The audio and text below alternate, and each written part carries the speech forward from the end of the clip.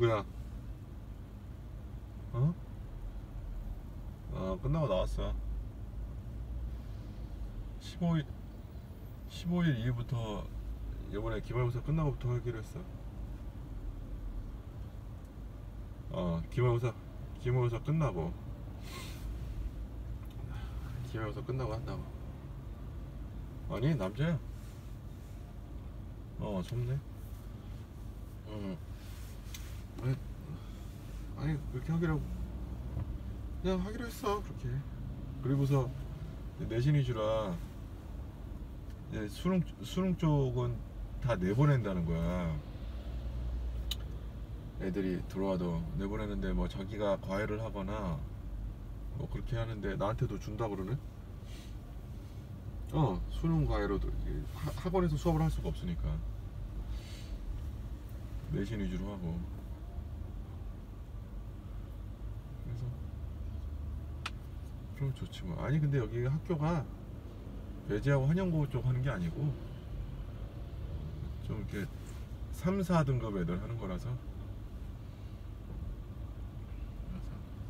상관없지. 난 편하지.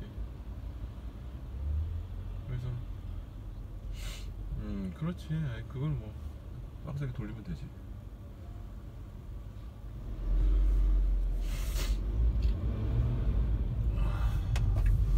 그런 거야.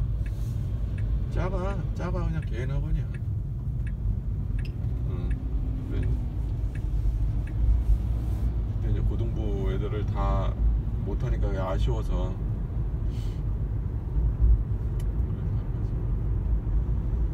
그래서 기말고사 끝날 즈음에서 연락 준대 반 다 짜가지고 출구 주- 주- 아니 월수금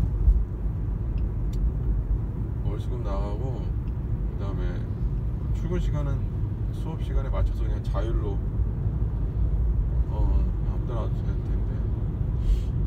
음 땡큐지 뭐 30분에서 1시간 일찍만 가면 되니까.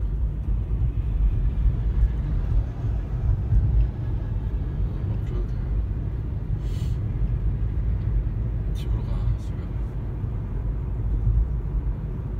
어 주차할 때 있네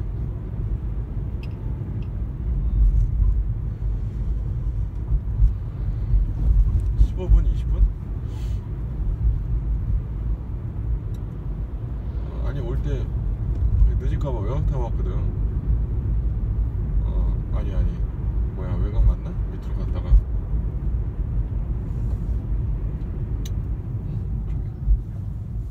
아차 어 암사대교 건너면 한 25분 걸리고. 그 똑같 근처야. 걔 그 누구야? 기범이 수업하던 그 근처야.